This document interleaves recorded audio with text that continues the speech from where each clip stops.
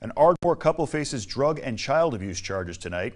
24-year-old Dylan Williams is charged with the abuse of his three-year-old daughter. This after family members called police and reported the alleged abuse. Police say they found bad bruising on the girl's face. Police also arrested the girl's mother, 31-year-old Tatiana Gali, on drug possession charges. She bonded out of jail on Saturday, while Williams remains behind bars on a $52,000 bond.